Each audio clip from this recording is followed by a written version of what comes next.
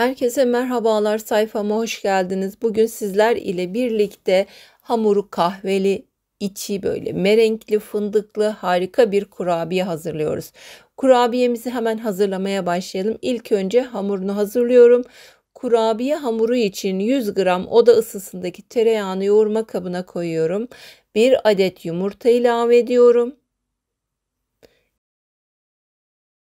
2 yemek kaşığı yoğurt ekliyorum. 2 yemek kaşığı pudra şekeri ilave ediyorum. 1 paket vanilin ekliyorum. Karışıncaya kadar elim ile mıncıklıyoruz. Böyle yoğurmaya başlıyorum.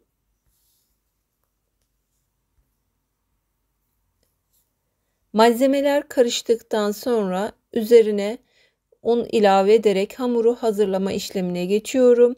Ele yapışmayan yumuşak bir kurabiye hamuru hazırlıyoruz.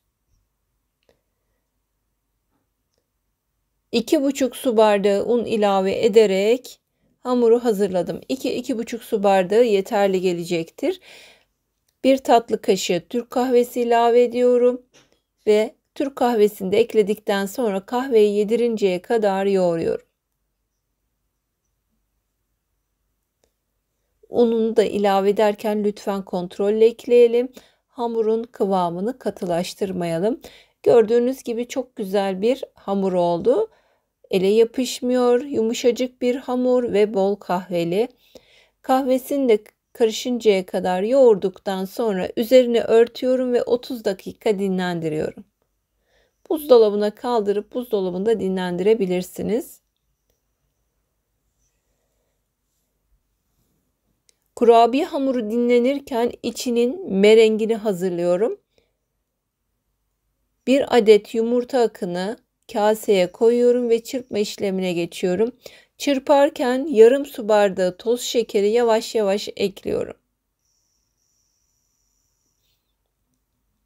Toz şeker ile birlikte kar haline gelinceye kadar çırptıktan sonra üzerine bir buçuk su bardağı çekilmiş fındık içi ekliyorum karıştırıyorum. Yarım pakette vanilya ilave ediyorum ve tamamen güzelce karışmasını sağlıyorum. Malzeme karıştıktan sonra artık şekil verme işlemine geçiyorum.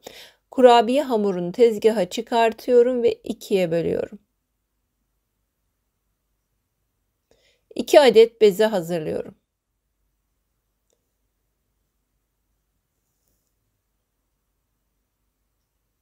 2 adet bezeyi hazırladıktan sonra altına ve üstüne un serperek hemen açma işlemine geçiyorum. Merdane veya oklava kullanabilirsiniz. Hangisiyle rahat çalışıyorsanız onun ile açarak hazırlayabilirsiniz. Dikdörtgen olacak şekilde açıp hazırladıktan sonra hazırlamış olduğum fındıklı merenkli karışımın yarısını ortasına uzunlamasına koyuyorum.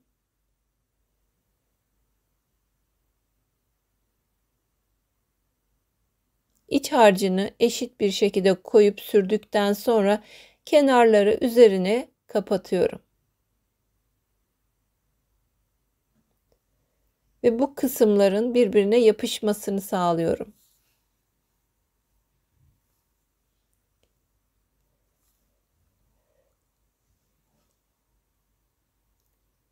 Bastırarak düzeltiyorum kenar kısımlarını da düzeltip hazırlıyorum. Bu şekilde direkt fırın tepsisine koyuyorum. Fırın tepsisinde kesebilirsiniz veya tezgahınızda da kesebilirsiniz. Tamamen düzelttikten sonra eklemiş olduğum daha doğrusu birbirine yapıştırdığım uç kısmı alta gelecek şekilde fırın tepsisine yerleştiriyorum. Tepsiye yerleştirdikten sonra bıçak veya bu şekilde kesici bir alet yardımıyla üzerine çizikler atıyorum. Bu ekstra kıtır kıtır olmasını sağlayacak. Üzerine çiziklerini atıp desenini veriyorum. Kesiklerini attıktan sonra dilimlere kesiyorum.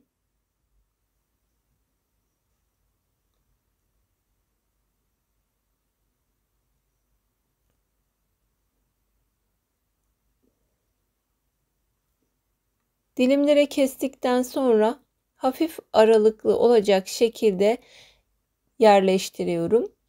Kabaran bir e, kurabiye değil fakat içinin merengi biraz dışarı çıkıyor pişerken. Bunun için aralıklı koymaya özen gösterelim. 170 derece alt üst ayağı fırında kontrollü bir şekilde hafif kızarıncaya kadar pişirelim. 25-30 dakikada rahatlık ile pişecektir. Kurabiyelerimiz fırından çıktı bakın. Çok güzel piştiler. Merenk kısımları bir miktar dışarı çıkıyor. Fırından çıktıktan sonra ılımasını bekleyelim lütfen. Ilıdıktan sonra artık üzerine pudra şekerini serpelim.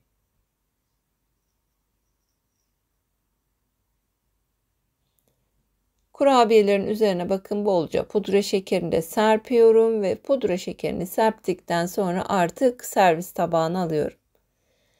Kıtır kıtır kahveli bir hamuru içindeki lezzetli merengi ile şahane bir kurabiye. Farklı lezzetleri seviyorsanız mutlaka denemelisiniz. Bu güzel kıtır kurabiyeleri denediğinizde de küçük de olsa bir dönüş yaparsanız çok sevinirim. Hoşçakalın, afiyetle kalın. Yeni tariflerde, yeni videolarda görüşmek dileğiyle.